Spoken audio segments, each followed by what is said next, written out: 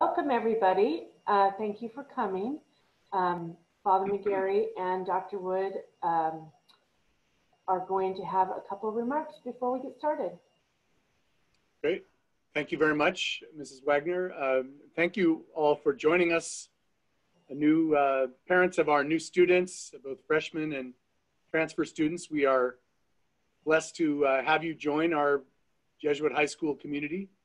Um, so thank you for participating this evening. I wish we could be with you in person, uh, but we've been working hard, as you will hear this evening, to um, prepare the, the various contingencies for how we're going to begin the school year. But um, I'm Father John McGarry. I'm the president of Jesuit High School. I'm in my second year as president here. I was principal many years ago from 1998 to 2005. Then I had some other jobs in the Jesuits after that, and I came back here two years ago. I'm beginning my third year as president. I've been a member of the Jesuit order for 38 years, and I've been a priest now for 27 years. So um, I'm very grateful to be back here at Jesuit. I believe wholeheartedly in our mission, which is a mission, as you know, of education of the whole person. We talk about this idea of the whole person education mind, body, soul, and spirit. So you're sending your sons to a school that believes deeply in uh, educating the whole person, not just academics, but it's uh, co-curricular activities, spiritual and religious formation. Uh, all of that integrated together makes up our school program. So I want to start, and you will hear me say this uh, quite often, parents, to you. Uh, thank you for not only entrusting your sons to our school, but for your support in uh, keeping Jesuit High School on task, on target, on mission, uh, which is the education and formation of the students that we are so blessed to have in our school. That includes your sons who are joining us as freshmen or transfer students. So becoming a man for others, a person for others, men and women for others, uh, this idea of whole person education means that we're inviting our students to be in solidarity, in community with each other. So I'd just like to start with a brief reflection uh, from a woman by the name of Marie Giblin. She says this about solidarity. Solidarity takes place when a person or community not only sees a need and acts, but commits to follow up, to endeavor to see what action is taken to improve the other's situation for the long run. Solidarity is also, also includes a kind of mutuality that goes both ways in respect and accountability when the relationship grows. Solidarity then becomes a two-way process because it becomes a relationship with both sides giving and receiving. So, my dear parents, we enter into a relationship of solidarity with you this evening as you send your uh, God's most precious gifts to you, your children, your sons, to this school. And I want you to know that they are a gift to us, and thank you for sharing them with us. So, we ask God to bless us this evening, to bless each of you uh, in your families, and to bless the community, the greater community of Jesuit High School all the faculty, staff, administration, parents, alumni, and most especially our beloved students, including members of the class of 2024 and our transfer students. May God bless us uh, this year and in these early days of the semester when we come together in unusual circumstances. Um, we ask God to especially guide us during this time. Today in the church is the, the feast of St. Mary Major, which is a church in Rome where St. Ignatius uh, celebrated St. Ignatius, the founder of the Jesuit order, the architect of Jesuit education, uh, said his first Mass as a priest. So uh, we give thanks to you, God, for the vision of St. Ignatius that has made Jesuit high school and Jesuit education possible uh, for centuries all over the world and here in Sacramento since 1963. We make all of these prayers and every prayer of our hearts through Christ our Lord. Amen. Amen. In the name of the Father, and of the Son, and of the Holy Spirit. Thank you very much and most welcome to you all. Uh, and I'm, I'm grateful to my colleagues here, Dr. Wood, Mr. Wagner, Mrs. Wagner, Dr. Desmond, Dean Theodule, Mr. O'Connor, and uh, Mr. Bersea, Mrs. Sands, who are all here, and others that I can't see, who are all here to, to help you. I will be on with you for a while, and then I have to move to another meeting of our booster club. But if you hear uh, and, and don't remember anything else tonight, please remember that you are welcome to Jesuit High School. Thank you. Thank you, Father McGarry. We are blessed to have Father McGarry as our president, as our leader, and our Ignatian identity, our ability to advance our mission is certainly enhanced by his leadership, and I'm blessed to work with him every day. Um, part of that blessing is how honesty is with me, and he is honest with me, and I appreciate that. And he told me this morning my hair was so out of control because I haven't had a haircut in a long time. So I'm wearing a hat today because he got in my head a little bit. So hopefully we can find a way to get a safe haircut. But but I do appreciate my work with John every single day. You have the right hat on anyway. That's right. We're, we're, I don't know if you can buy these yet, but, but it is a good hat. So in a normal year, you and I, our, our families, our, our, our, new families and I would have had a lot of time together. We, we would have had a family welcome event late April, early May, some summer packets we mailed with information, things that we update every year. And this process of onboarding our families takes place over a course of months. We even say from open house to the admissions process to the welcome events to the mailings to the emails is just a long train of welcoming events to make sure that our families and our students are ready to be fully part of our community when we start the school in August. Obviously, that's the, the normal process isn't taking place. And so tonight we want to maybe catch everybody up because we need to help our all of our families and right now our, our, our newest families understand what they're walking into at Jesuit High School in this new environment, this environment that's new for all of us. So thank you for being here and thank you for walking through many of the details and the context setting and uh, the guidance that we can provide to make this transition to high school and to Jesuit High School the easiest transition, uh, the healthiest transition, the most uh, positive trans transition possible in the current circumstances and I have to say that I'm I'm as a school leader right now, obviously immersed in this crisis and in this pandemic and leading our school through the spring semester, the summer, and all the preparations for the fall. I am incredibly proud of the team of leaders we have and faculty we have at Jesuit High School who have gone above and beyond to make the high school experience on our campus and in our community to the highest quality it could possibly be given the circumstances. And we've worked tirelessly and supported each other, grown together as a team and as a community because of this circumstance. I do believe, and I've been screaming this at the rooftops to the folks uh, on this webinar, we will emerge out of this pandemic a better school than when we came into it. And we are blessed that you and your sons will be a part of that school, both now and in the, the school that, that we'll return to uh, when this is all over with. So one of the things that, uh, that we'll do tonight is Margie Wagner, one of our executive assistants who some would say kind of run the school. And many of our executive assistants run the school and we can't do this work without them.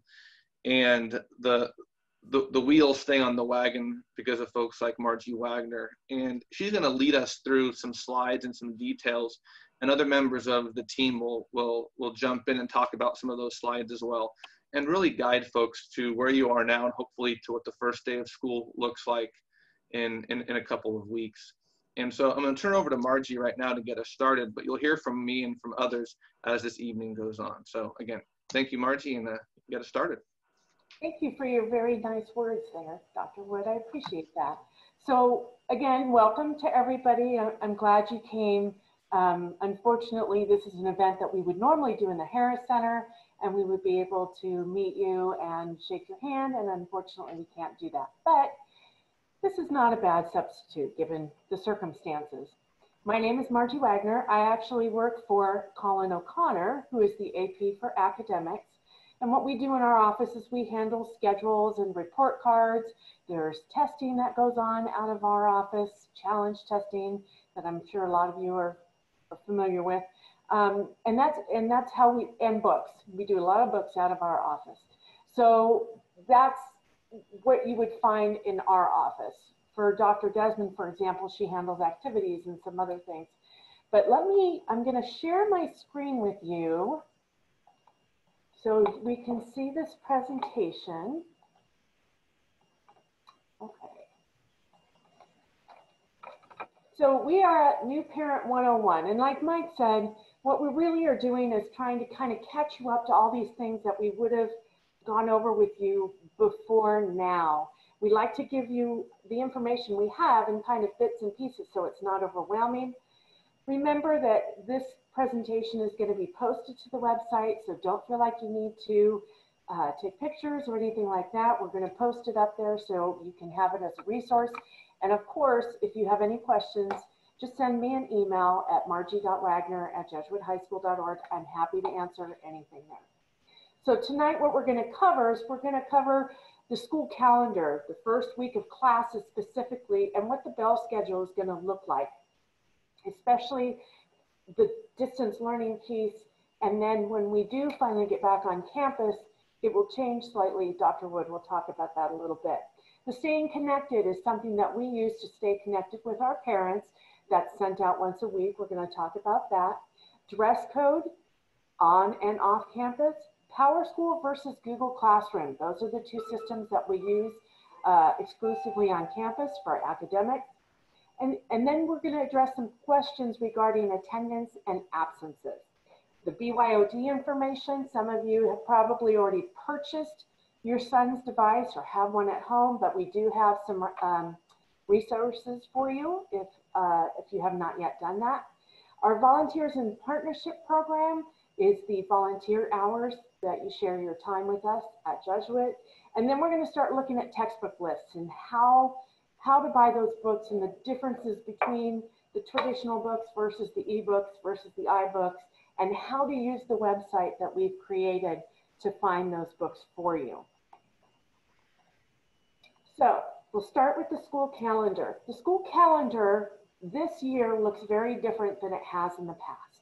In the past, we've had a traditional printed calendar that had all the events on it, all the sports, holidays, student vacations, dances, football games, everything was on that calendar. Unfortunately, this year that wasn't possible. So what we've done is narrowed the calendar down into a PDF form, and then there's a live calendar on the website that will be updated regularly. If you go to our website at www.jesuithighschool.org, on the upper right hand corner under quick links, you'll find calendar and events. So that's where you're going to want to go. Anytime you have a question about, you know, what time does school start today?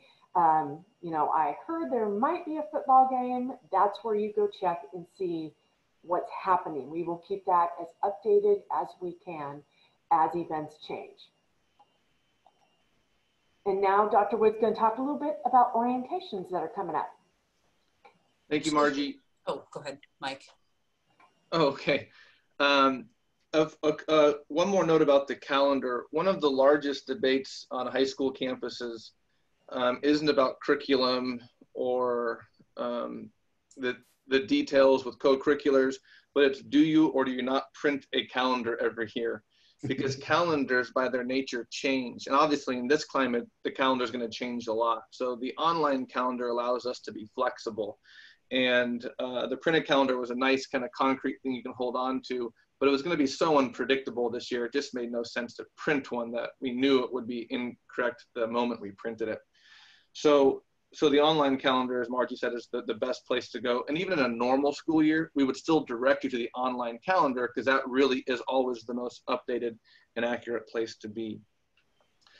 One of the first things you'll see on the calendar are the orientations for students on August 17th and August 18th. In a moment, Dr. Desmond will talk about the freshman orientation on August 17th and what that will look like. The orientations this year and even the whole lead up to school this year, we're taking our time with. In previous years, we had the benefit of a traditional brick and mortar school environment, and that did a lot of the work for us how to get from class to class, the bell schedule, bells actually ringing on a campus. Those are all things that helped orient teachers and students to a school setting because it was familiar for everybody.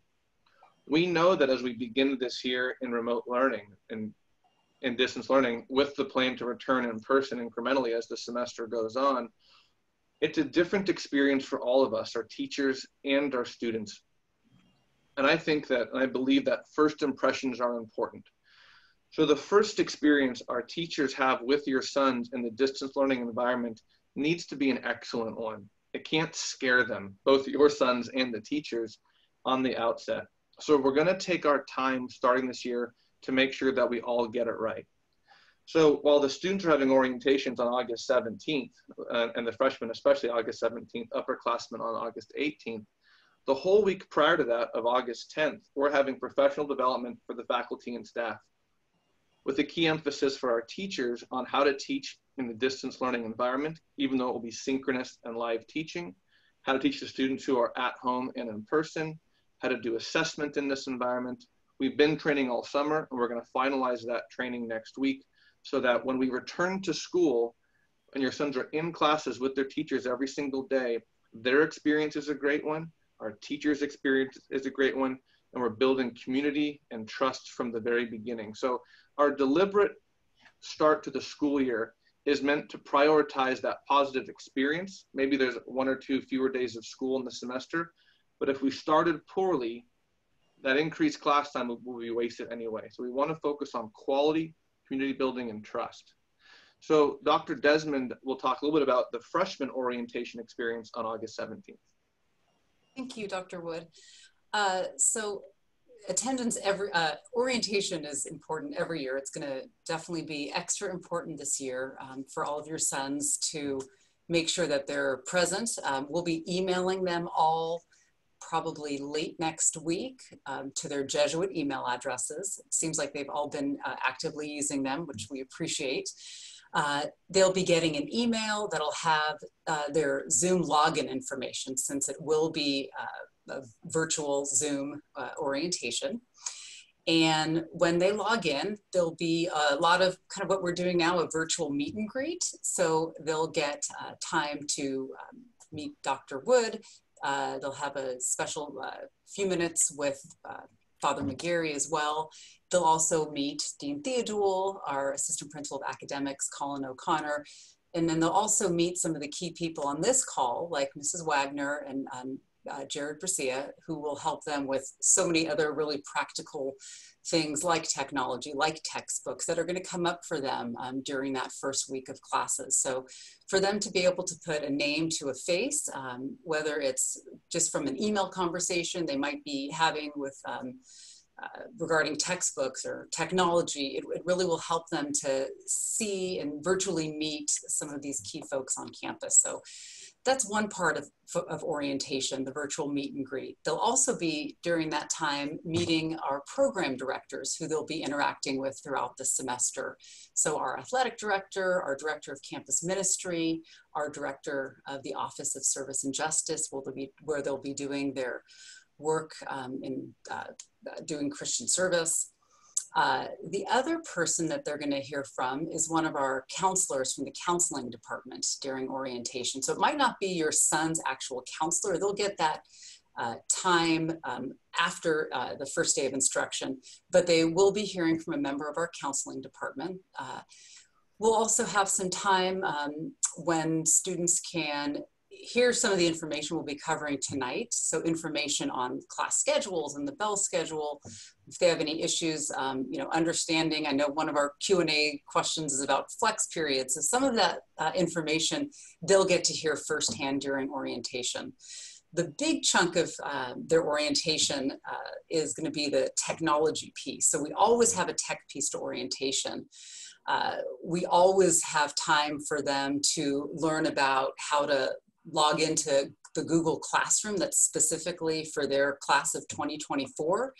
Uh, each class at Jesuit has a Google Classroom that's for their class where they can hear about announcements, activities, and resources. We keep that uh, up to date all the time for them. So we're going to on that orientation actually help them to log into that class of 2024. It's officially called an AMDG 2024 page. Um, they'll get to practice that with us so that once they've gotten the invitations from all of their classroom teachers to join their class Zooms, I'm sorry, their cl Google Classrooms, they'll have a chance to you know, feel comfortable about that, ask questions about that.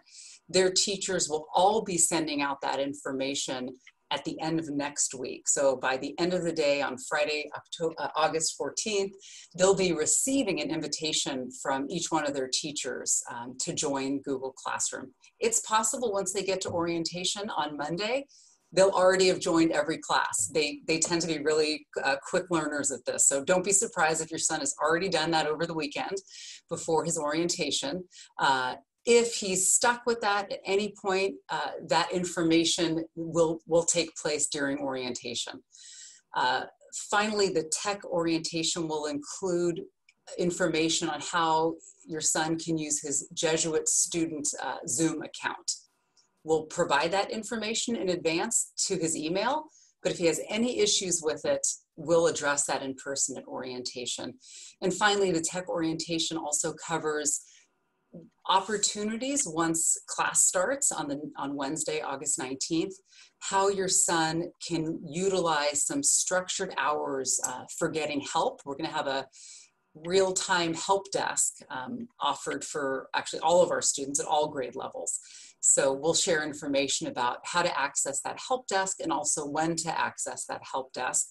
And Dr. Wood, I think your next slide on the schedule for the first few days actually uh, can show parents right now when that help desk time will be open and how it'll continue throughout the duration of the day to help students troubleshoot any questions that come up if they're having trouble logging into their Google Classroom, um, if any, any issues at all um, can get addressed during that help desk on the schedule that you have there. Perfect. Thank you for that great explanation. And is there any more, Fadia?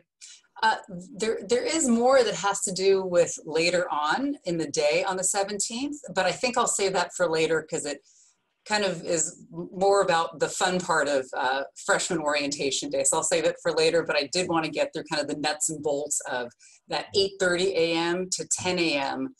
part of orientation that takes place Monday morning, uh, August 17th. Great, and there is some fun stuff in the afternoon we're excited to share with everyone soon.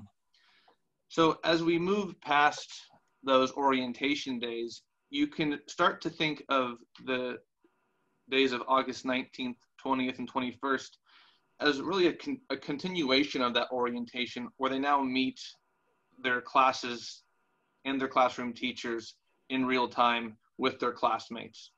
And we're doing this again with a very deliberate approach so that a student who has trouble maybe logging into that first Zoom session uh, or Google Classroom doesn't feel penalized by that experience where they've missed out on something or now all is lost and they can't ever catch up. We all know what that's like as students or employees to feel like we're behind or left behind and you have nowhere to go or feel like you're helpless. That feeling of anxiety um, and disconnectedness can really harm the rest of that semester and it might take a long time to catch up. The care we're trying to provide for your sons is meant to make this learning experience positive, and that makes that means he has to be comfortable, feel prepared, so when learning begins, he's in the best possible position.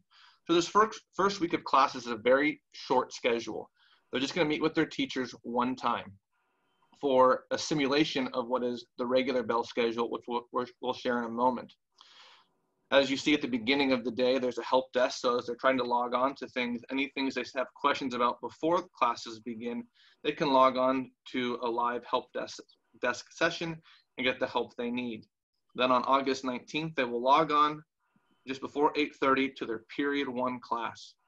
And they're logging on to a, a Zoom session with a special Zoom account, a Jesuit only Zoom account We have upgraded our Zoom technology, so there's a, a great deal more options for security, accountability, attendance taking. So it's not just a random Zoom session, it'll be built into the daily schedule for the students.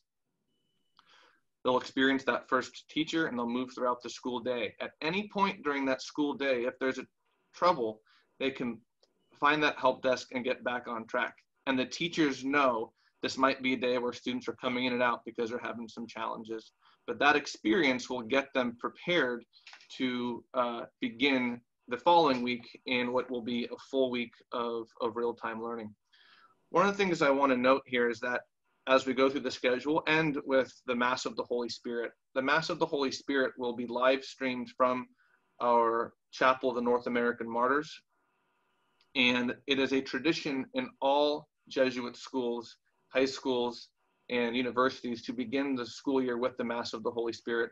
We recognize and praise uh, the Holy Spirit in our midst in the beginning of the school year and ask it to be with us throughout the school year.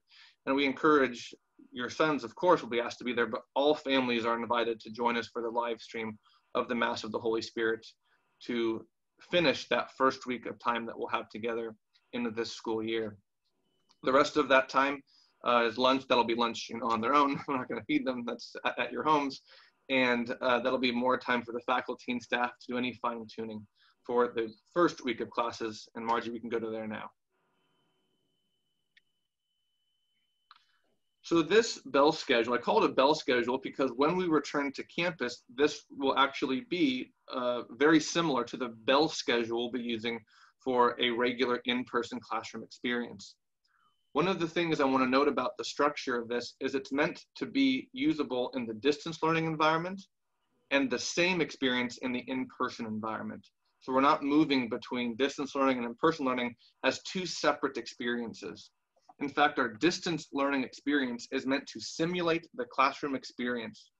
You, you might find on our website, uh, Dean Theodore and I at different times have modeled the in-classroom camera technology that we're going to be using to simulate that, simulate that experience for your son so they feel like they're part of a classroom as opposed to always simply on a Zoom screen. To begin the schedule, you'll see at the beginning of the day between 8 and 8.30 are collaborations and office hours, and on Friday, an extended collaboration. The collaboration periods are really meant for your sons. They're not every single morning for every single student, but they'll be scheduled throughout the semester for especially times with counselors. Counselors right now use the majority of the collaboration time. There are some fun things uh, sprinkled throughout, but for the most of the time, uh, your sons will meet with their counselors for college prep, for class selection, for mental health and wellness, all sorts of things that we'll be using our counseling program in that collaboration period. That includes when they're in person and when it's fully distanced and a combination of both. The other thing that will be there are office hours. All teachers will host at least once a week office hours during that time. So students who don't have a collaboration period can join for office hours, also a synchronous experience for excuse me, students to be with their teachers. Um, any type of out of class questions they might have, the teachers, teachers will be present for them in that before school collaboration and office hour time. We then run through a very standard, somewhat traditional eight period bell schedule, which includes a lunch period in there. That lunch period is uh, for all of our, our faculty and our students have a break during the day, whether they're at home or on campus. On Friday mornings, we have a longer collaboration period, which allows primarily for the faculty and staff to do some really important work in adult faith formation, in our work on being uh, uh on anti-racism and on our academic work. So we use that time for the own professional development, spiritual development, and moral development of our faculty and staff. But there will also be some opportunities for students to use that extended collaboration period, such as club sign up day and things like that. If you move down to the next slide, this is a small variation on the weekly bell schedule, but this is noting when students actually return to campus. One of the differences here is, while it's mostly the same, you'll see that the lunch periods are split. If you go into a previous video, Mr. O'Connor has gone through the Bell schedule in great detail and explains the in-person learning schedule, where why we split lunches to spread students out throughout the school day to minimize crowding in certain areas. So you can look at uh, a previous video, it's on the website about how the schedule actually operates. But I just want to note that the starting schedule with all distance learning doesn't require that we have a split lunch period. The other thing I want to note about this schedule, and this is a question that uh, I think we need to repeat over and over again to our families, is that when in-person return, in-person learning returns, it'll at first be phased in, where parts of the student body, say half of the student body, will come to class on a particular week or a particular set of days during the week, while the other part of the student body is at home learning uh, from the distance learning model. But what's important is it's exactly the same thing, meaning if I'm a student and I'm in the classroom and I'm with the teacher, my classmates who are at home are watching the exact same classroom experience using our pan, pan tilt zoom cameras from the, that are mounted in every single classroom across campus. So regardless of the model we're in, at home or in person, it's always a live classroom experience, um, which hopefully simulates the structure of a school day, which we do very much believe that students need. So I believe that's all I have there on that particular uh, schedule. We discussed collaboration periods, just some notes about them that they are required when students are asked to be there. The regular attendance expectations come with a collaboration period. If a student does not have collaboration, does need to attend virtually, obviously, or be on campus for that time. That's only for the collaboration period students. And I believe that's all I have on that right now, Margie. Did you want to make any remarks about the staying connected? Sure. So in previous years, I have sent out a monthly newsletter, the principal's newsletter. One reason it was monthly is because the predictability of the school year, as I mentioned before, was such that it only took a month to announce what was happening next because there was predictability and some routine to everything.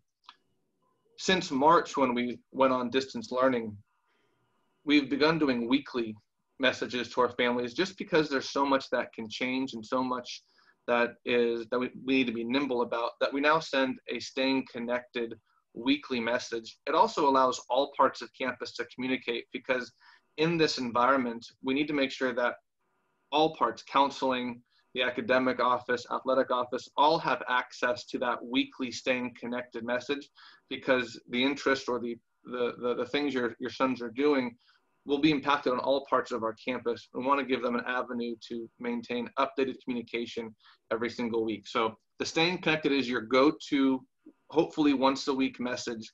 We want to limit our messages to you to that staying connected. If you see a message that comes independent of that, it's because we forgot to put it in, which is unlikely, or something changed quickly enough that we really want to get on your radar soon. But that's going to be your go-to messaging place for the entire school year and may actually be the model we use going forward as a school uh, for the foreseeable future.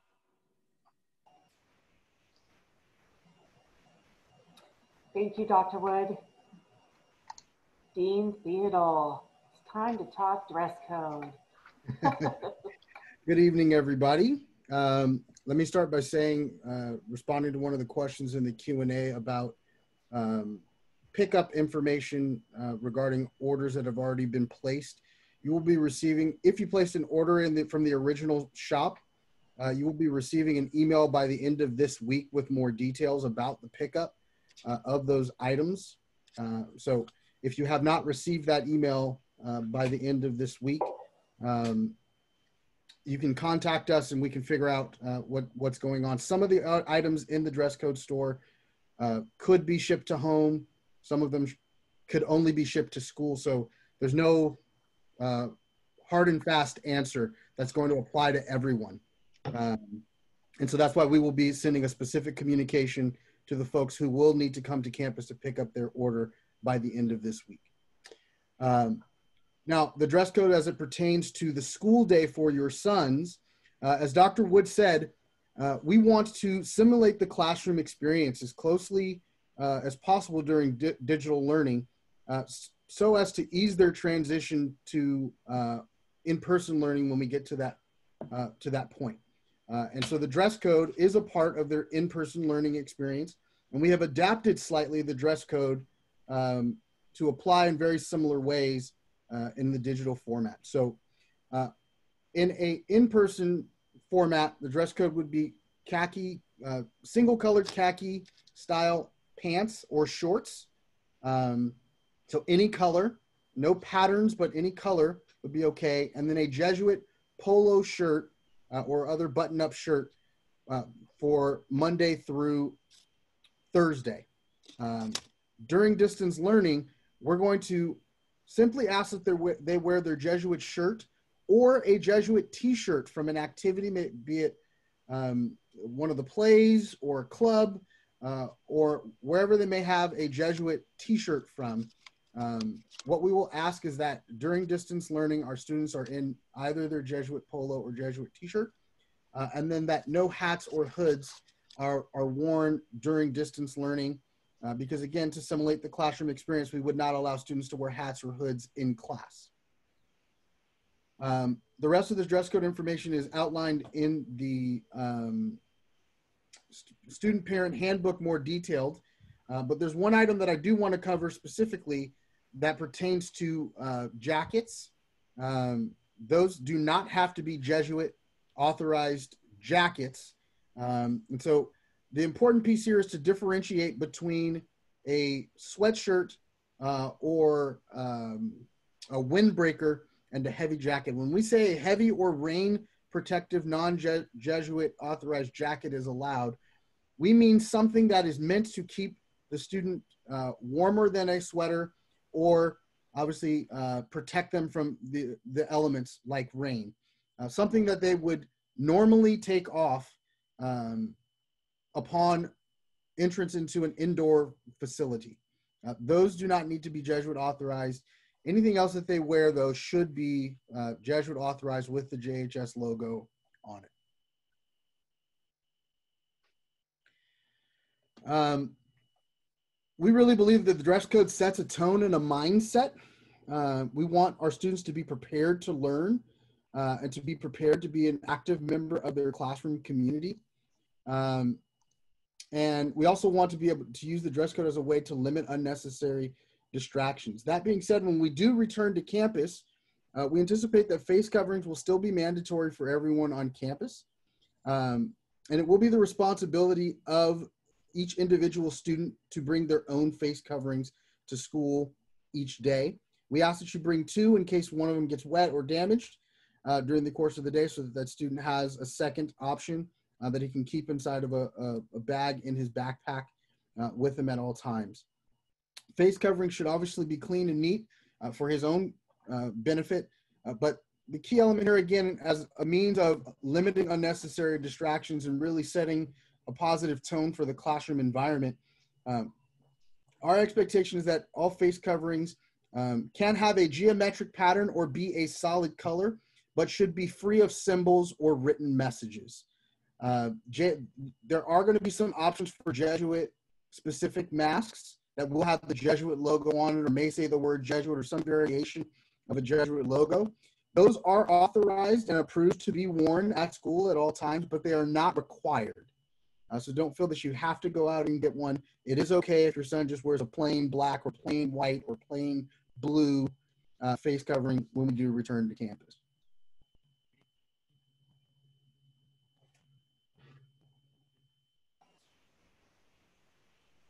Thank you, Doc, Dean Theodore. I almost called you doctor. Sorry. Not yet. Not yet. You're working on it. We're getting there. Okay. So the next part we're going to be talking about is PowerSchool. We use PowerSchool and Google Classroom as our main ways of communicating with students in regards to grades and homework assignments. The main purpose of PowerSchool is so that you can see and your son can see how he's doing in a class on a regular basis. This includes attendance, and we are going to strongly encourage you to do your attendance notifications on PowerSchool.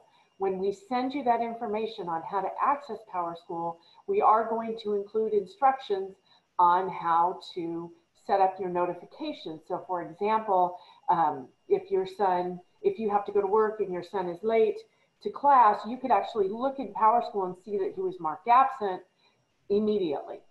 Now, having said that, remember that PowerSchool is live and will change while you're watching it. So it's a little bit like the stock market. Don't check it all the time. You will make yourself crazy. But you will be able to see grades, current grades. You'll be able to see current attendance. You'll be able to see if he's missed an assignment because there will be uh, little notifications in the grading that'll show you a little M, for example, if he's missing an assignment. The nice thing about PowerSchool 2 is you, it is available via an internet connection or an app on the um, on the Android or the App Store for Apple. Keep in mind, however, that apps generally are not as robust as the desktop version of something that could be. So for example, when we sent you an email, your son an email and said, log into PowerSchool and look at your schedule, but don't use the app, it's because the app doesn't support showing the schedule prior to the first day we take attendance. So there's no way for them to see it there. So if you're looking for something that on the app that you can't find, odds are pretty good it's going to be on the desktop version. So keep that in mind. Every class period during the day is going to take attendance. So every time they do that, you're going to see either a blank, which means he's present, or an AB, meaning he's absent, or there's a tardy notification. All of those things are going to show up in PowerSchool live.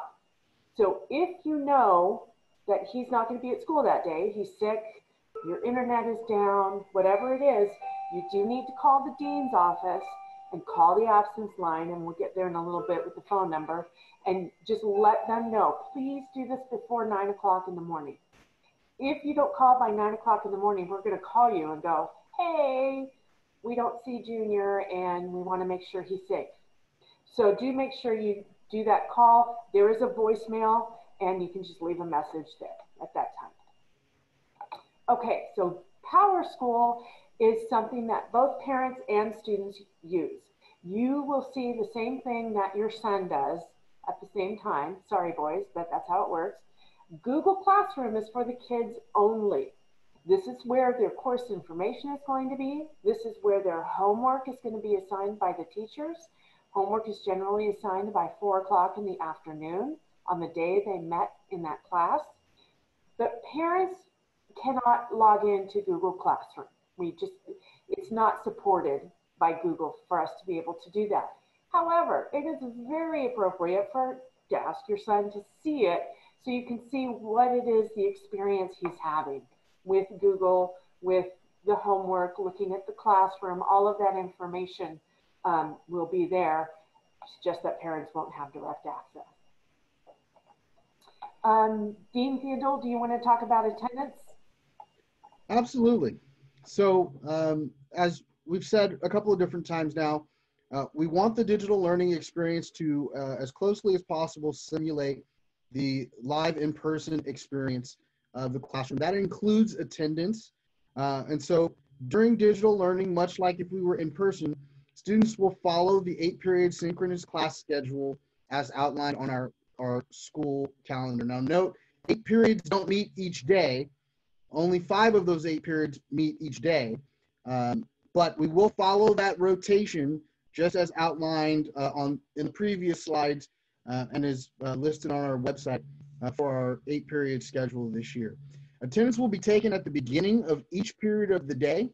Uh, and so uh, if your son is not in class on time, um, which is defined as the start of that particular period, when you look at the calendar, you, or when you look at the, the school day schedule, I'm sorry, you should note that there's a 15 minute passing period between each class period.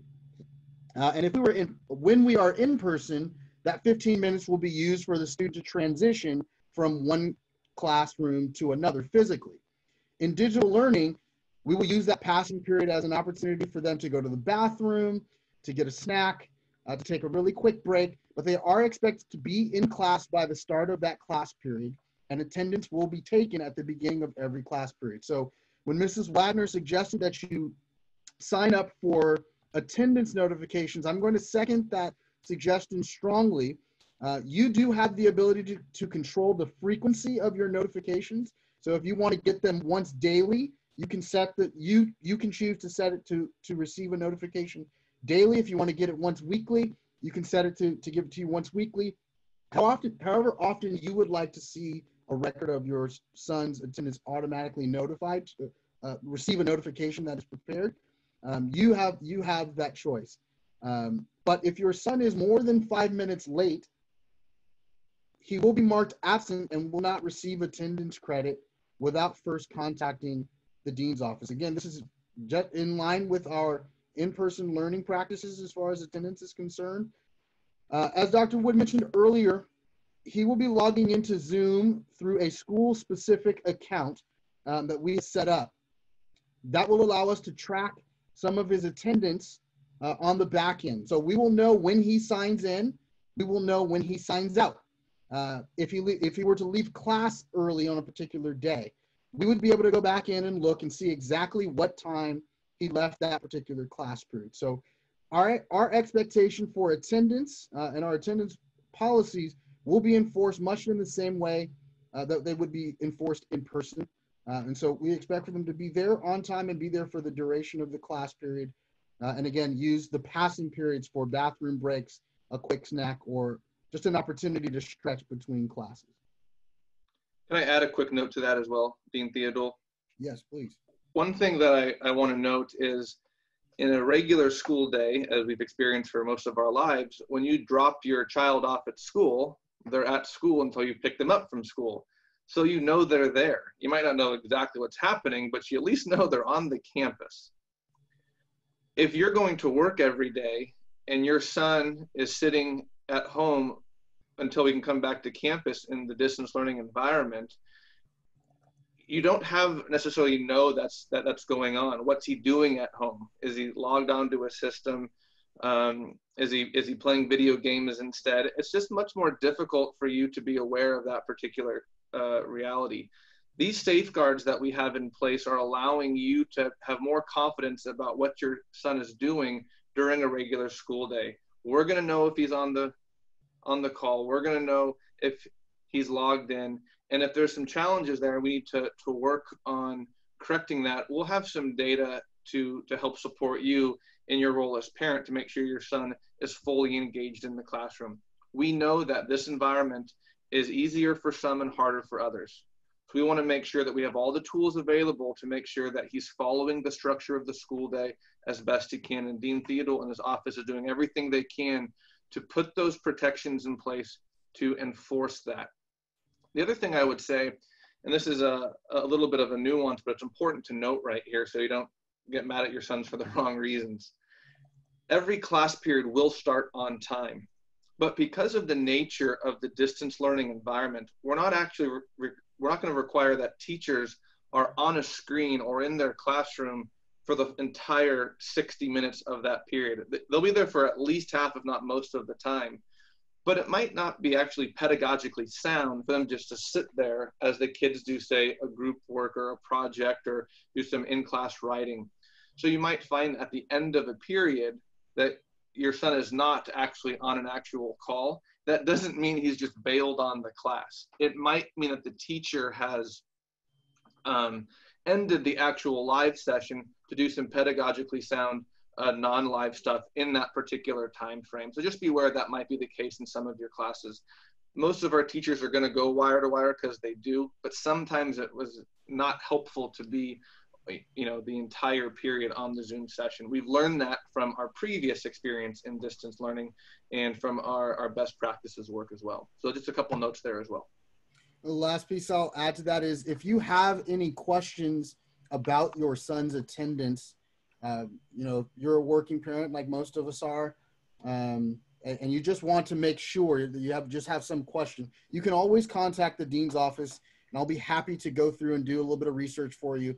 And again, the the Zoom accounts will allow me to tell you to the second almost when he logged in and when he logs out. Uh, I'd be happy to support you as a parent uh, in answering any questions that you have about whether or not your son is actually holding up his responsibility as a student in class. I'm going to jump in one more quick thing, and it's not in the slides, and that's not Margie's fault, it's mine. Um, one of the things we learned in the spring semester is that some of the disconnectedness that happens in distance learning that we're resolving by what you're hearing right now is still causes some difficulties for schools to how do you reach out to a student or a family if something's going on? We're just calling down to the dean's office or the principal's office and starting our, our work. The logistics of caring for students and for families gets a bit more complicated in this environment so at the same time we have a, a quite a few program directors and other members of our community whose work really takes place on campus and what they would traditionally do on a regular school day is difficult to replicate in the distance learning model. But these are folks who care about our school and our mission and want to help. So we're going to put together, it's called a Cura team or a care team, which is a group of folks who act in many ways like caseworkers. And these are educators who've been at Jesuit for many, many years who want to find a way to be helpful, even if they can't be as helpful on campus right now. So Dean Theodule is going to use this group to say, hey, we're seeing a student who's kind of slipping away. Maybe it's academically, maybe it's emotionally, maybe we're hearing something from peers or parents. And these people have the time now and the freedom to reach out and do some more one on one help for that student. And Dean Theodule will be able to say, this is a great Cura team member for this particular student, um, given what that student's going through and that particular employee's skill set. So we are caring for these, son, these students in a variety of ways, acknowledging the reality of the work that they're going in. And I think that's going to be an unparalleled experience at Jesuit High School that, that we're committed to every single day. You'll learn more about that later, but I wanted to note it here. Thank you for that, Dr. Wood. As Mrs. Wagner said, um, if your son is going to be absent, and let's define what that means, particularly in a digital space, um, I'm sorry, particularly if we are in person. Um, what when we mean absent, we mean he is not available to learn for class. So we will consider him being when we're back in person. We will consider him being physically in his desk as being present for for school, in a in exactly the same way as we will consider he is logged into the Zoom session from home on time um, to be in attendance uh, uh, and, and accounted for. So when we say if your son is absent, we mean he's, he's neither available for in-person learning or digital learning. If that is the case, if he's sick or he has an appointment or something that's going to cause him to miss uh, some or all of the school day, please call the attendance line by 9 a.m. to report the absence. You can see the phone number there on the screen. It's area code 916-480-2135. It's a voicemail service that will allow you to leave a message identifying your son and all this is in the voice message as a reminder for you, identifying your son and his reason for, for absence so that we can mark his attendance um, as an excused absence, excused by you, uh, in PowerSchool, uh, and so that his, uh, his attendance is always reflected accurately. Um, again, if we are uh, in in-person learning and your son needs to leave for leave school early for a doctor's appointment, you can simply send him with a note uh, prior to the start of the school day that says he needs to leave at whatever specific time for his doctor's appointment. Uh, and we will give him our own internal notes that will, he will be able to then show his teacher and his teacher will allow him to leave uh, in time for that, uh, to be picked up for that appointment. Margie? Yes. As, as uh, Dean Theodule was talking, and I was listening, Dean Theodule, I promise. Uh, there's some great Q and A in there that might be uh, appropriate for maybe Colin O'Connor to answer, and some others that maybe okay. they can knock off the list. Not, not the written ones that have great answers to them, but the live ones before we jump into what's some more really important nuts and bolt stuff. But all the nuts and bolts stuff tend to be helpful when we understand the larger picture. Is that okay if Colin does that? Absolutely. Mike, is there one you wanted me to start with? Um, I mean, I see period nine. There's a question here um, about a schedule that shows a period nine or a period 10. Those are classes that are taught that are not taught as part of the eight period schedule. Uh, there's a number of different things a freshman might see. There's his health class, um, which is tied to where his PE class would be in the schedule. Um, and then the service and justice program is run through the ninth period or the 10th period. And that's also tied to the theology one class. Um, so more information about those two specific period nine or period 10 classes will be coming uh, as we actually get started into the school year. There was a note on the schedules that were sent home, um, sent to freshman families about health in particular. We're needing to kind of rethink how we do health this year uh, because of the difficulty with actually running physical PE. Um, so we're going to take another week or so, or a couple weeks. I think we said September. You would get some information about uh, how we're going to run the health curriculum portion of that class. But that's what a period nine uh, would be. So it's things that are either additional to what's actually like happening in the eighth period or eight period schedule, um, or it's a co-curricular, which you might see in upperclassmen schedules. Um, so if they're ever in chamber singers or something like that, or one of our many bands that practice and rehearse outside of the school day. How about the question, Colin, about distance learning and, uh, sorry, recorded classes during um, live sessions? Sure. So uh, the question here is, during distance learning, will class instruction or discussion be recorded and available to students afterwards in case of absence or for review? Uh, the short answer is no. That's not our plan. Um, with the, the way we're set up to do synchronous meetings and kind of replicate what the on-campus learning environment would be like under, you know, quote unquote normal circumstances of what's normal anymore. Um, the the whole idea, the whole focus for us is synchronous, synchronicity. Uh, so that means we need, we want students to be attending class. We don't want to um, kind of programmatically provide any reason why students would not want to try to be present for that distance learning uh, when the teachers are offering that class. Um, that being said, you know, there's still going to need to, we're going to need to have some, some structural support for students who may need to miss a class on a given day. Uh, but that's no different from any other year when a student might be absent for a day or a couple days in a row. Um, keeping up with Google Classroom information that the teacher provides, um, you know, teachers will adjust their, you know, due date expectations for students who may have missed um, with an excused absence, you know, provided they're reaching out to the dean's office as uh, Dean Theodule has already outlined. So in that way, we're, we're not planning to, um, nor will we be asking teachers to provide recordings of classes for, um, for students who, who may miss for a variety of reasons. Um, you know, we may set up when we get close to, uh, get closer to being able to return to campus, we can talk about developing buddy systems and stuff for students to use. Um, but there's a lot of analog technologies that we can leverage to, to keep students caught up if they have to miss for any various reasons. Another quick question here that was a good one was the microphone in the classroom setup. Mm, sure. The, um, I can actually do that one because I saw it today. They Go mount, or maybe George, you can maybe handle that because they've upgraded the technology since we modeled it for them a few weeks ago. So yeah, the per the purpose behind the microphones there was to, oops, sorry, my wife's gonna turn her speakers down. We're in the same room. Want me to come over there and do it from there? So the purpose, we hmm. chose those mics. You know, I'm gonna come over here. Hang on a second.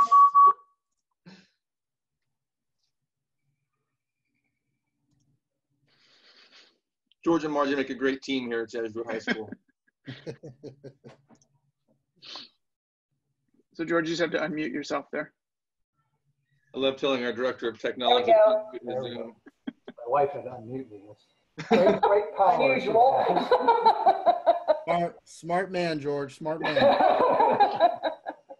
So the purpose behind those mics was to allow for classes of different modalities to occur. So sometimes you have a very teacher-centric class, and sometimes you have a very um, a student teacher-centric situation where students are asking questions and there's dialogue going on. So we wanted a microphone that could pick up both of those environments well. So sometimes part of it's going to be teachers are going to have to learn to enunciate perhaps a little bit loud, loud, more loudly than they do normally.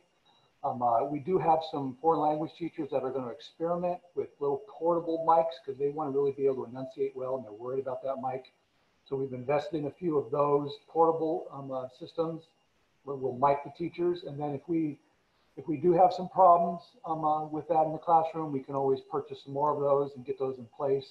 Um, uh, and we'll be basing a lot of that on your feedback. So let us know if, it, if there is sound problems and we'll address them as best we can.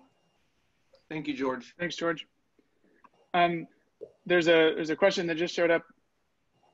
Uh, we have, uh, will students be able to see each other during class? Yes, since we're requiring that students during distance learning have their cameras on. Um, you know, students can change from speaker view to gallery view so they can see the faces of all of their classmates. Um, and, you know, teachers may direct them to, to do that in different ways and teachers will be using breakout rooms. So there'll be not just an opportunity to see each other, um, but also to speak in small groups, um, I think quite frequently. In, in listening to the experience of some teachers who did uh, full distance learning for summer school, as well as some of the experiences that people had in the spring when they were running synchronous sessions, the breakout rooms on Zoom uh, have like really winning reviews from our instructors. And uh, so I would not expect that this is going to be, you know, 60 minute lectures. That's, that's not what we're, what we're aiming for here at all. We're looking for uh, some interactivity, the same kind of interactivity that uh, we would hope you would come to expect from us uh, in our traditional teaching environment as well. Um, there was a, there's a prior question. Thanks for your patience, the person who asked this. Um, I was waiting for the appropriate time because talking about uh, dress code was not really the appropriate time to jump in and address this one, but this is a big question. The prior goal was, some of you may recognize me, my hair is a little bit longer than it was a month and a half ago when I talked about this, but our goal was um, a return to campus uh, such that a student who wanted to be on campus every day could do so. Uh, correct me if I'm wrong, Mr. Wood, that, that's still our goal. That's very much our desire uh, as an institution, our desire as educators is to be with our students in the spaces that we uh, that we feel most comfortable, which is our classrooms. Um, but since we announced that particular plan, so many things changed in the local environment, and then also in terms of the guidance that we were getting from the county and from the state um, about the impact of community spread, not just our ability to mitigate on our campus, but the, the impact of community spread um, plays a really big role in determining whether or not we can bring uh, X number of people onto campus. And so our goal now or our plan now is as we're able to make a return to campus to phase it in um, to make sure that we're, we're appropriately addressing all of the elements of our pretty lengthy mitigation plan. Um, and then even if we hadn't, if, if we hadn't received, you know, changes in guidance or anything like that, without the ability to do what we were kind of planning to do with orientation week to slowly introduce students to campus through orientation week, uh, it would be foolish to try to bring everyone back onto campus and expect them to be able to easily navigate uh, the campus, find all of their classrooms. So we wanted to, to be able to do that slowly. Um, so as we're able to announce those kinds of plans, as it becomes feasible for us to do so, we'll give some more information about uh, how you can expect that phased return to campus. Um, and that means, you know, we're going to be leaning pretty heavily on the flexibility of our schedule, of the, the ability for the schedule to adapt pretty fluidly from distance mode to on-campus mode, because there's a, if you think of it as a faucet, there's a faucet that we can turn that allows for students to be present um, in both places simultaneously. Um, you know, half the class, a quarter of the class, whatever that percentage ends up being and I'll just add one more thing, and I'm going to hop off this. I have another call to, to go to in a little bit. So if I if I leave the call quickly, um, it's for something else I have, I have to go be a part of. But the other thing is that our plan, by spreading out the campus physically, and by spreading out the classrooms to an eight-period schedule, so even if all students return to a class, there's typically less than 20 in the classroom. When schools in our area are allowed to reopen, we can do so with greater pace hopefully, um, and get to that full return as fast as any school in our area. So our plan allows for the most efficient and um, and full return possible. And as Mr. O'Connor said, when that return allows. So hopefully we can turn that faucet on a little bit more as the weeks go on, as our, our rates go down in Sacramento. And we're excited to do that. Uh, but we'll obviously follow the, the guidance of health and safety officers in our area. So Um, I'll leave it for that and I'll let Margie go on with the, uh, the program. Thank you, Dr. Wood. Um, I do see a question here I'm going to answer really quick about supply lists. I know uh, Mr. O'Connor addressed that earlier. We don't actually have a supply list. The teachers will announce in class, usually through their syllabus, what it is that's required for those classes. So don't purchase anything until you know exactly what the teachers want. And they'll be very specific and let you know. Um, in terms of communicating with the dean's office for doctor visits, Dean Theodore, if you'll correct me if I'm wrong, but I would imagine that they just need to call the absence line? Correct. Okay, so if you just call the absence line and let us know your son's name and what time his appointment is, and if he will be returning to class, just leave that message and then uh, the dean's office will handle that. Is that correct? Correct. Perfect. Okay, so did you have? I think I think now's a good time to just power through the rest of the your planned presentation, and we can pick up any other Okay. um, Q and A questions at the end. Well, then let's power through. Okay, so now we're on to BYOD, bring your own device. I would imagine that most of you have probably already purchased something for your sons to use during the school year. Um, but just remember, when we do return to campus, there are some things that we expect of the students. One of them is to come to school prepared, and that also means having their devices charged when they come to class. Um, we do not have charging stations. Uh, some teachers will allow students to charge in the classroom, but students should not plan on have being having the opportunity to charge on campus. You know, they're never going to let their phone die. Make them plug in their computer when they plug in their phone at night, and they'll be fine. The security of the device is also up to the student. What we do recommend, however, is when you get a case or something for the device, just take a piece of tape, little piece of paper, put his name directly on the back of the device underneath the case. So that way, if something does happen, A, we know where to look to find the device. Um, and, and it just makes it so much easier for everybody. We have a very good system of tracking these down. Um, you know, I've been here a long time and I think I can only think of one or two devices we could not find. It's shocking how often these guys leave them lying around somewhere. Um, but it is going to be his responsibility and, and we will, you know, kind of repeat that message to them when they do return to campus. Now, technical support is generally, we can help, and Mr. Garcia, if you could correct me if I'm wrong here, um, we can generally help with some of the smaller issues. If you're having trouble with ebooks, if you are, you're having trouble connecting to our Wi-Fi network, um, your email isn't working correctly. Those are things that would happen um, where you would go to the technology office, Mr. Garcia or Mr. Epstein would be able to help you with that. Anything larger than that, I dumped a Coke on my keyboard. That's not something we can help you with. And we would encourage you to contact Apple or Microsoft or Google for Chromebook support for that. So just keep that in mind. When you do purchase those devices, keep in mind where the support is going to come from if you run into something that we can't help you with. Okay, so VIP hours. VIP hours are going to be the volunteer hours where we invite people to come onto campus and do some time, more of a community event. You know, you meet other families this way, you meet other parents this way. There is a, um, a requirement, a minimum number of hours that have to be done. But the way to find out that information is go to your helper helper profile, create one, and then be looking for those VIP opportunities um, on the website. Anytime you have any questions, just email volunteers at jesuithighschool.org and they will get back to you and answer any questions that you have about any of those hours. Okay, so our website is designed specifically to make it very simple for you to find what you need uh, quickly. So one of the things we have is the quick links. And the quick links are right up here in the corner here. I'm to use my little laser thing. And that's going to give you the most common things that people look for. If you can't find it there, you can always just click on this parent tab. We have student, parent, and alumni. And what that does is that we direct the messages for students differently than we would direct a message to a parent, differently than we would direct it to an alumni.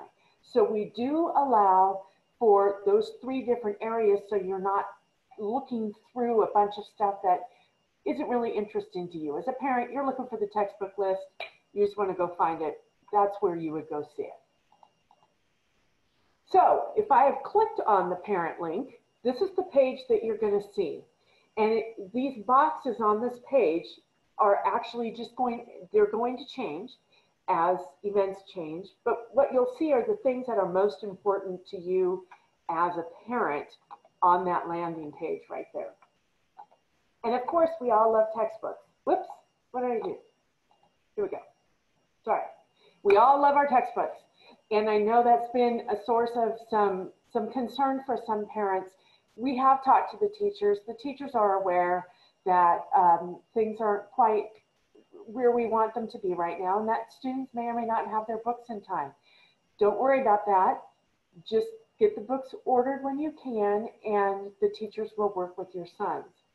So much of our uh, readings and textbooks are in electronic format and will be accessed through their device. But not all of the books that we use in our curriculum fit that need of, of an ebook. So we are still using a combination of ebooks and traditional books. If you are on a Mac or an iPad, there is a different book list for you, and I'll show that to you in a moment. All the iBook titles have the correct link to the correct book because you're not going to be able to have a unique ISBN number in the App Store. So just trust that the link that we've provided for you is the correct one. If you are buying a traditional book or you're buying an ebook that is not an iBook, then yes, you do need to be mindful of the ISBN number because that's going to ensure that you've located the correct book. Like, for example, the Algebra 1 book, there's actually two versions of it. One at the bottom right-hand corner on the front page says Common Core. The other one doesn't. We use the Common Core book. If you buy the other book, they look exactly the same, except for that little notation, Common Core, you will have the wrong book. So it's really very important to verify that ISBN number when you're purchasing books. And if you have any question about that, do send me an email and I'm happy to take a look at what you're, what you're looking at and make sure that it's the correct um, book. The textbook list is located on the website under parents. We do have two lists out there. They're broken down by operating system of the device that you purchased for your son. So you're either going to use the iOS list, which is going to be Mac or iPads, and or the Windows Chrome list, which is going to be any Windows device or Chromebook. And then the books are listed by grade level and then by department. Now, web access books, as freshmen, you don't have to worry about this so much. The upperclassmen, especially human geography, pre-calculus, Pearson does not send the access code via email. They send it regular post office service. So the problem with that is, is it takes two or three weeks. And what I get is parents who go, well, I ordered it yesterday. Why isn't it here? Well, because Pearson doesn't do it like that. So do keep that in mind. You don't really want to wait until the last minute. Also on the book list, what you'll see is if we can offer you an option between a traditional book and an ebook, we will list both books, but you only have to choose one. Now, I do have some families that do order both because you know they want to leave the traditional book at home because books are heavy and then they use the ebook on the device. That is completely up to you. We give you that option. If it's available so for example with the world language this year they excuse me have gone almost exclusively with ebooks. Um, it will be difficult to find a traditional book given the program that they're using right now. Remember when you're purchasing books that they'll say we're gonna we're gonna ship it with two days shipping, but what they don't tell you is that it's gonna take them five to seven days to process your order, which really means you're not gonna have a book for 10 days. Do keep that in mind when you're ordering your books. And going back to the world language for a moment, the French and the Spanish books at any level will be distributed by that teacher the first week of instruction. So I know that a lot of you have already purchased those books. I appreciate that you've done that already, but do keep in mind those aren't going to come for a little while. So don't worry about those books coming. So I'm going to switch my screen here for a second because what I would like to do is show you a couple of things. So here we are on our website. I'm going to go and look at the parent. And I'm going to log out of this because it's going to make it look weird. I'm going to look at the parent page. And here's where you can see we have the calendars up here right now. Um, we have the announcement that the class schedules are available in PowerSchool, the book list, if your son wanted to make a schedule change request, this is where all the parent stuff will live. So if we're gonna go look at the textbook list, this is the page you're gonna land on. And you'll see that I've said there's an Apple list and a Chrome list. So if I have my son's schedule in front of me and I want to purchase a book, what you do, let's assume that I'm going to go because I have a Windows device and I want to make sure that whatever books I purchase are usable on that particular device. Now, our website that we have is actually built out especially for us. I share with the books, um, the website builder, our list of books. And this is a dynamic site, meaning it's going to go out at that moment that you click that link and find the best prices it can right that time. This is not something that's cached.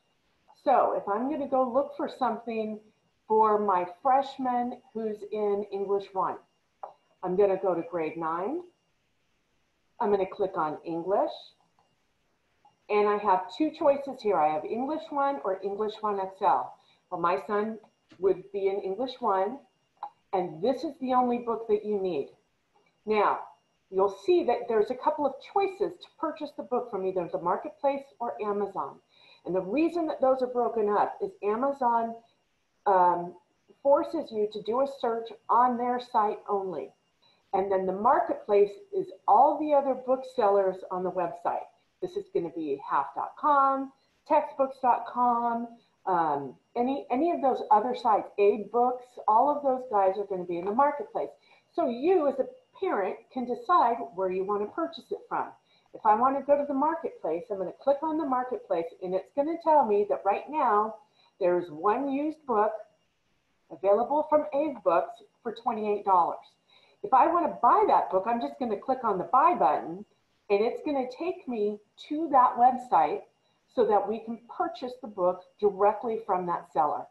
And then when you're done purchasing that book, you've proceeded to checkout now you can go back, close this window, go back to here, and then you hit go back again. Now I'm going to go to my next class.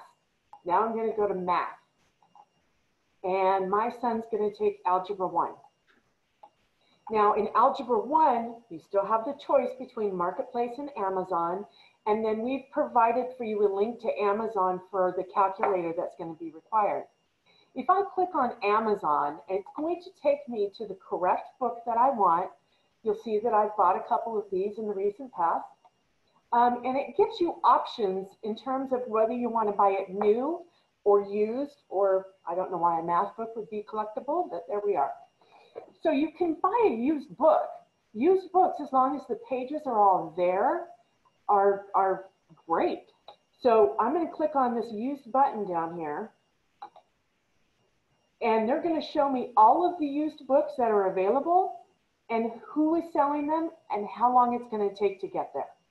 So if you wanted to buy this book that's being, the fulfillment is by Amazon and you know it's going to get here quickly, add it to your cart and you can purchase that book. You're going to do that for each class your son takes. Now, some of them are going to say, let me go back here. I'm going to go to visual and performing arts. And I'm in choir. Let's say your son's in choir. You'll see there's no books listed. There's no books required, but there is a materials fee that will come into play later. So don't worry about that right now. That's not something that has to be dealt with right this minute. But if you go to digital photography, what you'll see is there is a book required. You can use the traditional or the ebook version. Uh, it is available on Kindle, I believe, on Amazon.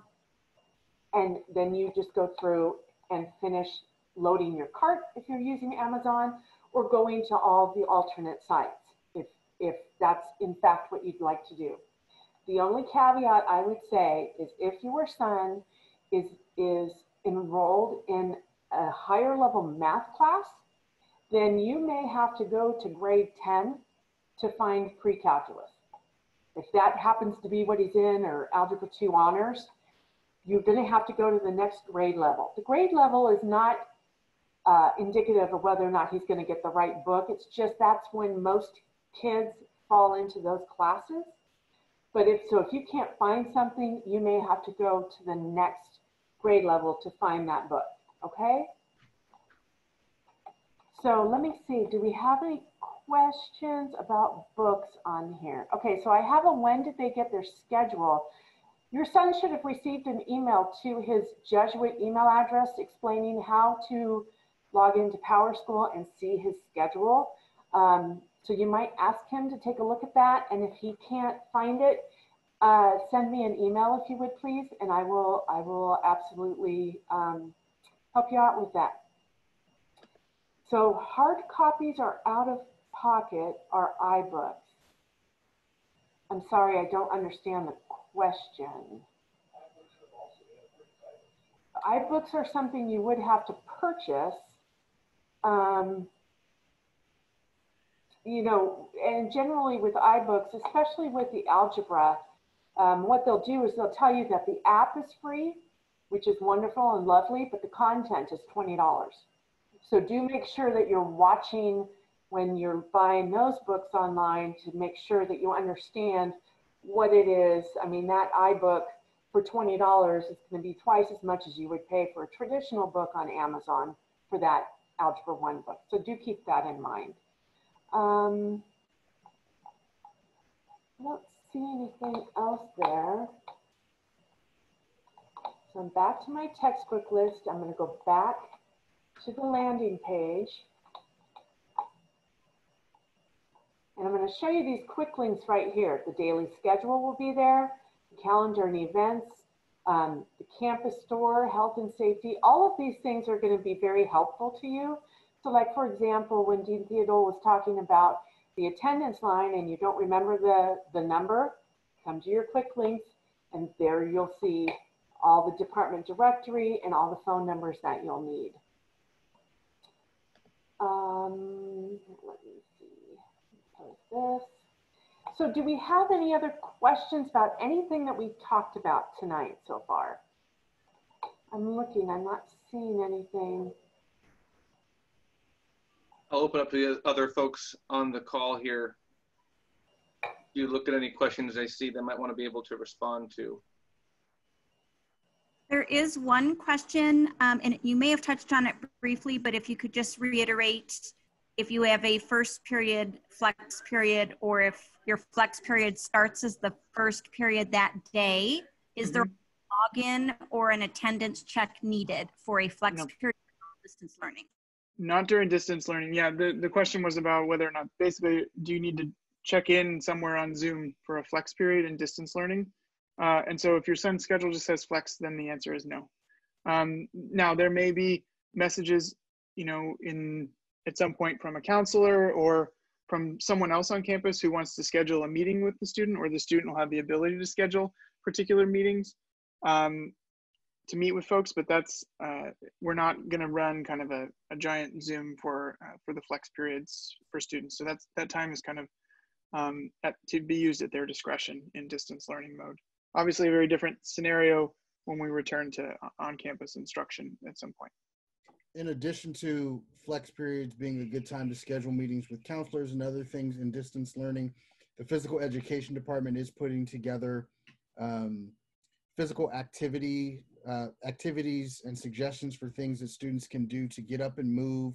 Uh, flex periods would be a great time during the course of the digital learning day for students to take advantage of those opportunities to get up away from the computer, do a little bit of physical activity, stimulate their brains and their bodies, uh, and then be prepared to be back uh, and ready for their next period class on time. I would suggest uh, that students set an alarm for themselves um, on their phone or um, wherever they may set an alarm, um, maybe for five minutes prior to the start of the next class period so that they are in their next class period after flex on time.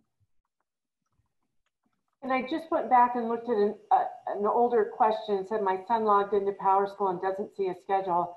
Both Elizabeth and Fadia mentioned that they should not be using the app, which is absolutely correct.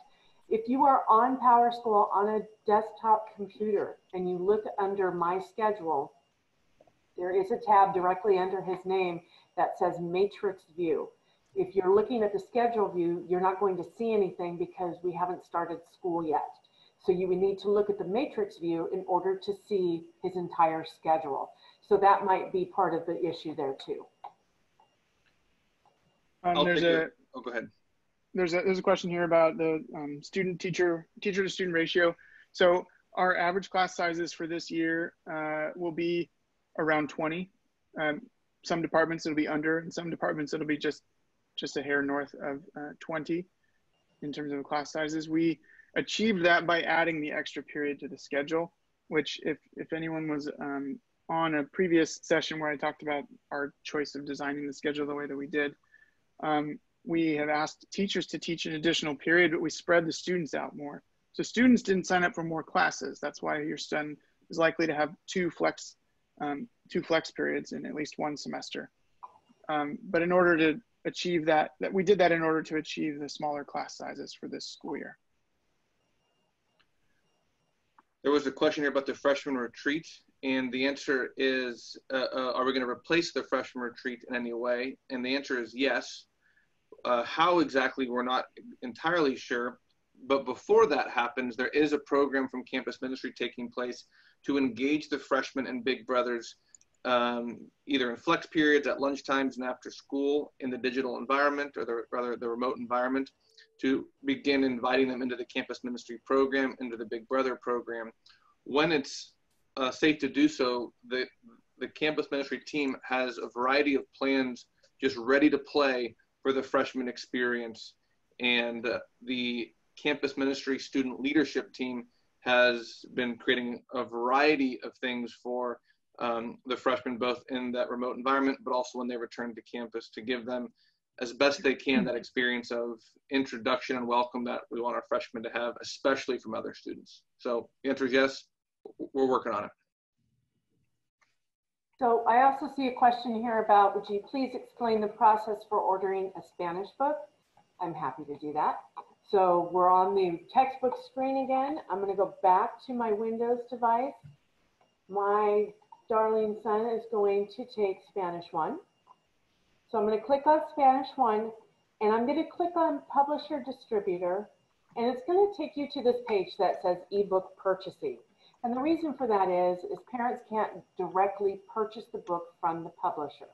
So we have to purchase the book for you. So you're just buying the book from Jesuit, essentially. So you would just go down and choose the Spanish book. Now I know it's a little confusing because it says Spanish 1, 1XL, 2, 2A. It has all of the levels of Spanish. And that's just because of the platform that the, the uh, publisher uses allows us to only have one, uh, the, the book will be associated by the instructor code. Uh, so don't worry about that. You don't need to identify to me what level of Spanish it is. I just need to know which do you want Spanish or do you want French? So, so then you would just go through, put your student's name in there, let us know what his year level is, your email address, uh, phone number, all that information, hit save registrant, and then that's gonna ask you for your payment information.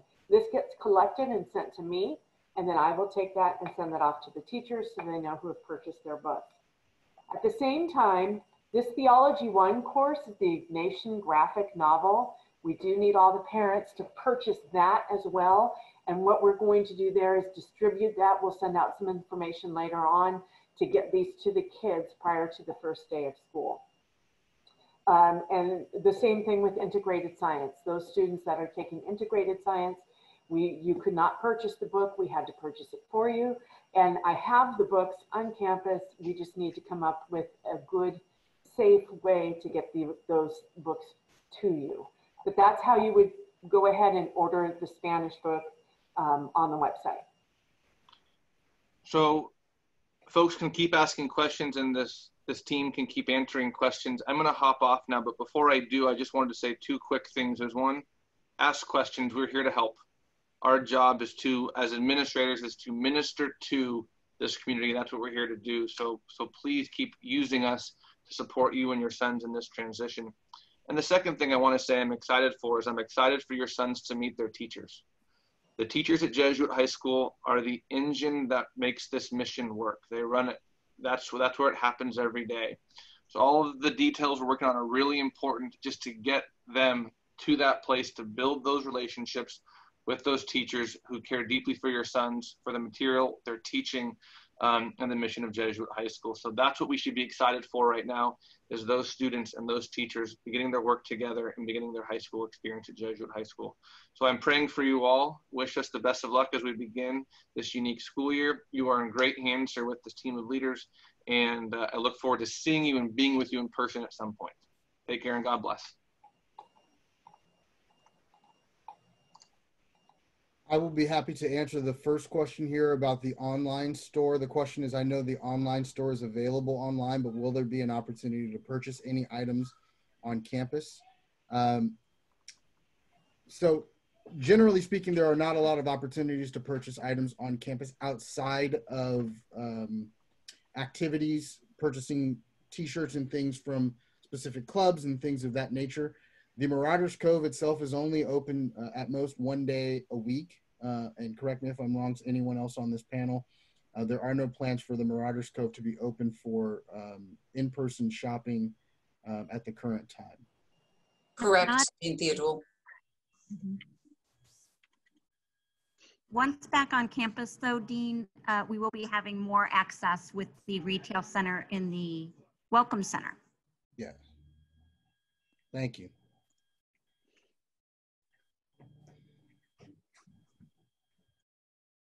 Um, there's a there's a question here about whether transfer students get a Big Brother. Uh, the Big Brother process is is specifically designed to support freshmen. Uh, however, in the past, we've used members of our student council to um, give tutor, give tours to transfer students and to kind of be uh, a friendly face at the beginning of the school year. Um, Dr. Desmond, do you know if we are still using that particular avenue? Um, I, not through campus ministry, but possibly through student activities. So right. I'll I'll look into that. I, I have the uh, parent name that um, asked that question, so I'll be sure to um, touch base with her. That usually comes up as part of the transfer student orientation, um, which again will take will take place uh, in the coming weeks. Yes, our director of uh, admissions, Mr. Matthew Ramos, does have a unique plan specifically for transfer students to make sure that they are supported um, as they transition to to our campus. Uh, the the question come, comes up again here about recording classes.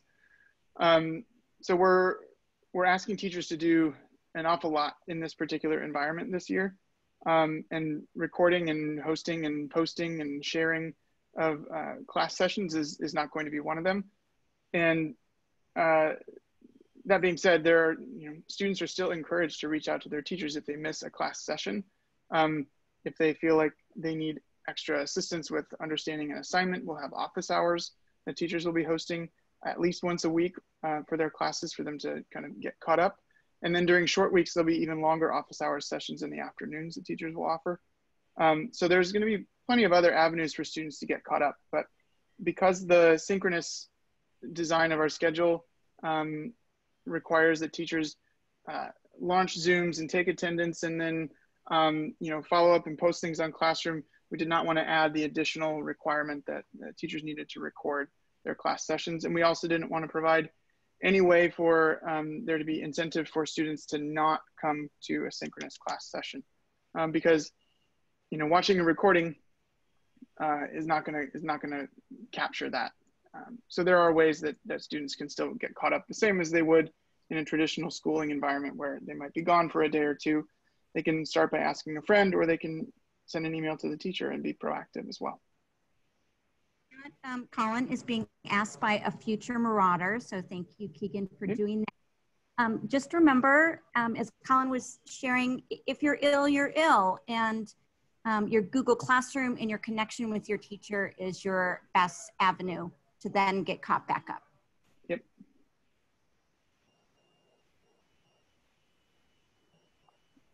Someone also asked how big is their freshman class? So who has or would like to share the approximate number of the class of 2024? I'm looking it up right now so I can give a, an accurate answer. Just give me one moment.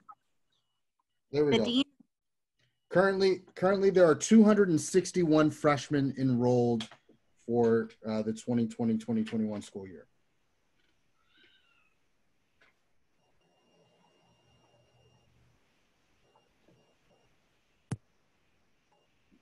two sixty-one, Dean, you said? 261, yes. Great. So there's a- also a question here that says, is a physical required to start the school year? And the answer to that is yes. You do have to have a physical on file with us uh, in order to start the school year. And we generally, I mean, we're into August now, so it's kind of a moot point at this point, but we generally recommend that people do it during the summer. That way, if your son plays a sport, it actually is valid for the entire year. What we don't want to have happen is your son's uh, physical to run out in the middle of his sports season because that will make him ineligible. So as a freshman, it's required to start the school year and to play sports. After that, it's just required to play sports. You don't need to repeat it every year unless your son is an athlete. Um, let's see, theology book. Let's go back to theology here.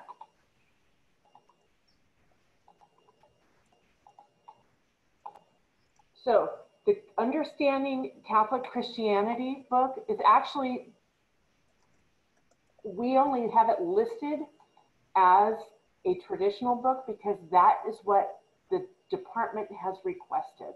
So they want the kids to have that book in hand rather than an ebook. Um, so you could buy the ebook for your own purposes, but for in class, he is going to need to have to have, need to have. He's going to need the traditional book.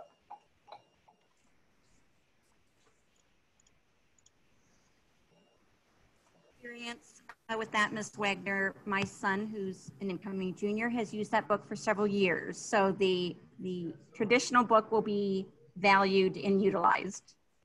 Thank you very much. That's good news. Um, will virtual VIP hours be available or will the requirement change? I would recommend reaching out to um, Kim Kalmbach and ask that question. You can get her at volunteers at jesuithighschool.org. I don't know that answer. Do you know it, Fadia? Margie, could you repeat that, please? So will vi- virtual VIP hours be available or will the 25 hour requirement change? Um, I, I haven't heard yet.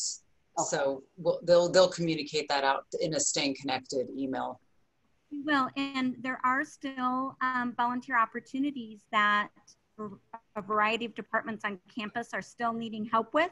You might um, be able to volunteer to do some um, mail stuffing from home or some other professional support like photography or other talents you may have.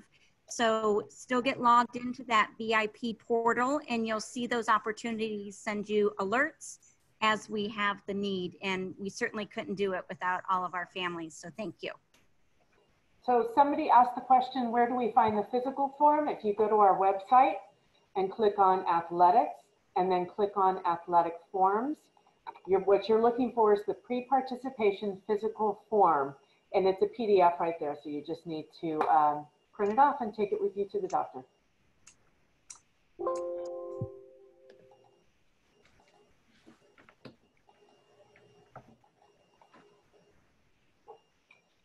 Okay, so how do we check and see if the physical was done?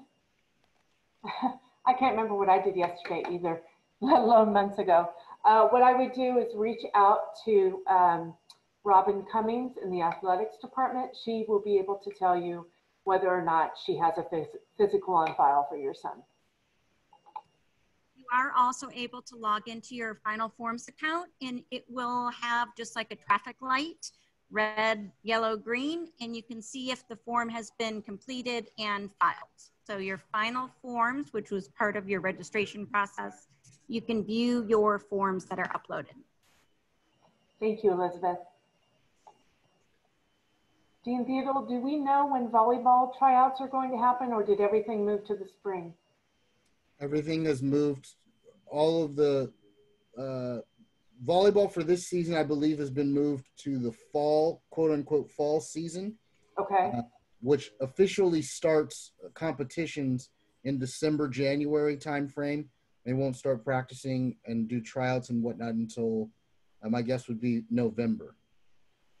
thank There will you. be some, there will be some conditioning opportunities for the fall, the traditional fall sports and volleyball, uh, sometime around or after Labor Day.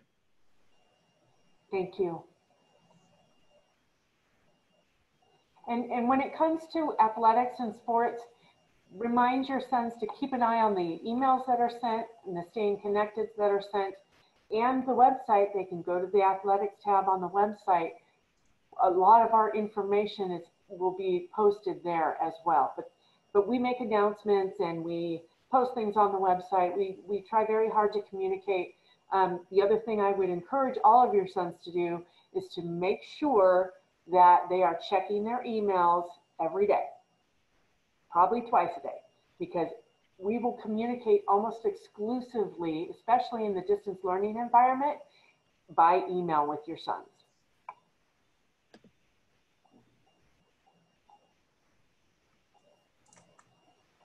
Um, says first available appointment is August 31st for a physical. That's fine. Make the appointment and do it then. That's not a problem. Just have it, just make sure he gets it into us, um, you know, right after that happens. Uh, let's see. My son is interested in the esports team. Is at a club? It is actually uh, it is actually a club. Um, we started our esports team last year. Um, our faculty advisor is Mary Friedman. Uh, she makes it a lot of fun uh, for for the club members, and that's a perfect segue for me to mention that on um, Friday, September 18th, uh, we're having a our collaboration time that morning is going to be set aside just to make sure that we get all that club information out to our freshmen at all grade levels actually um, so Sure. uh, that's up on our calendar and we'll be sending them lots of email reminders about that we're, we delayed it because uh, uh, actually every year we, we wait a little bit uh, to give students a little bit of time to get acclimated to the start of the new school year. Um, and then we inundate them with lots of great opportunities uh, for getting involved in school beyond just um, in their classrooms. Okay, so there's another question here. It says on the helper app, there's no opportunities listed. Is that correct? I suspect that things are a little quiet right now. Is that correct, Fadia? It's possible. Um, there, there, there are some things that actually people may have already signed up for, but they were uh, volunteer opportunities um, actually for your sons. Um, so we, we, I'm glad they're not up there because we wouldn't want you volunteering for some of these um, little surprises that are coming up um, for for your son. So it is possible that there is nothing up there right now. But like Mrs. Sands mentioned, there will be lots of virtual opportunities in the works.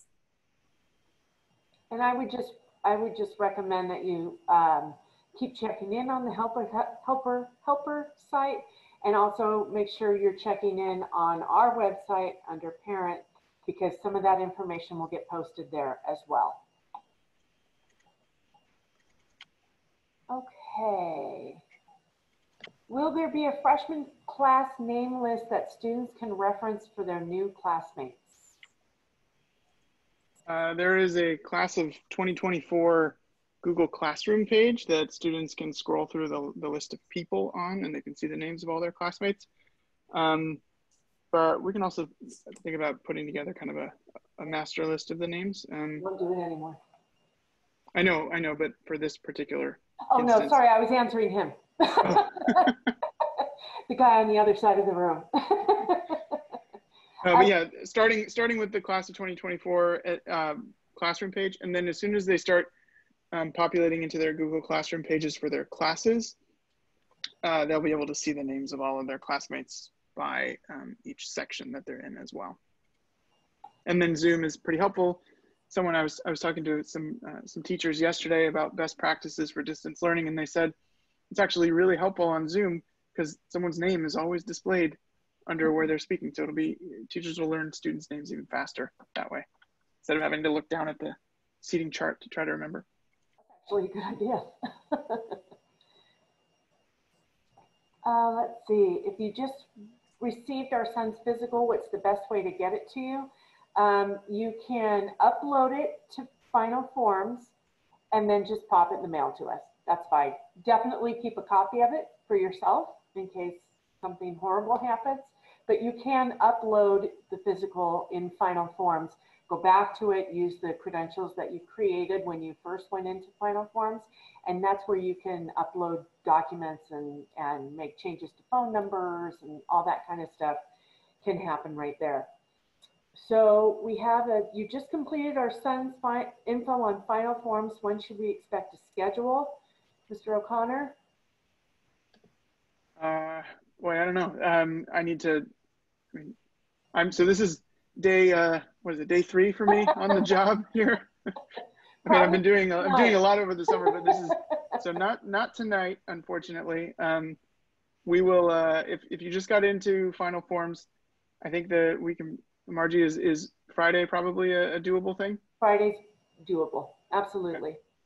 Yeah, Um, could you, since you, sorry, the person who posted this posted it as an anonymous attendee. So one thing to do is if you feel like your question was, uh, if you didn't see an answer to your question, we tried to type answers to almost all of them or address them verbally. If you didn't feel like you got your question answered, feel free to email myself, um, you know, any of us uh, assistant principals um, or Margie. Margie is amazing, by the way. Uh, I don't know if you guys all realize, but you just got a presentation from the person who should be your best friend at Jesuit if you're a parent. Um, you're so sweet. so, so please, please reach out to us. Uh, as Mr. Wood said before he left, we're, we're here to help.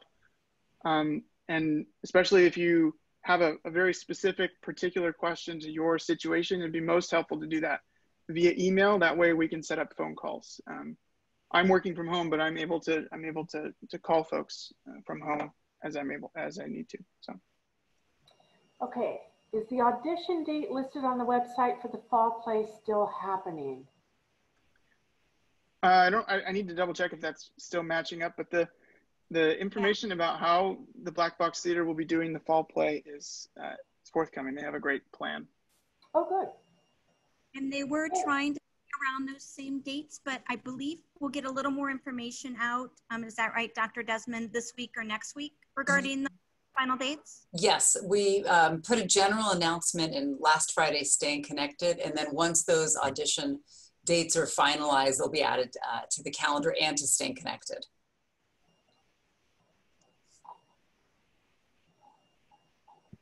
Okay, I think that's all the questions that we've, we've answered them all, it looks like.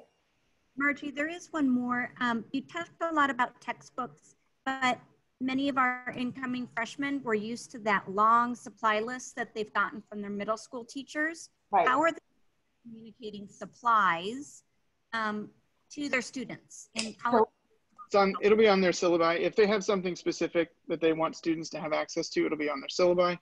Um, so teachers will be communicating that to them via their syllabus uh, during that those three days of special schedules, uh, the first week of classes.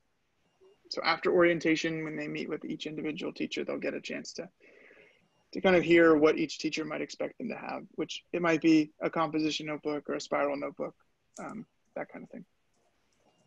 Don't buy anything yet, except a calculator. Go get a calculator. Everything else, hold off on that.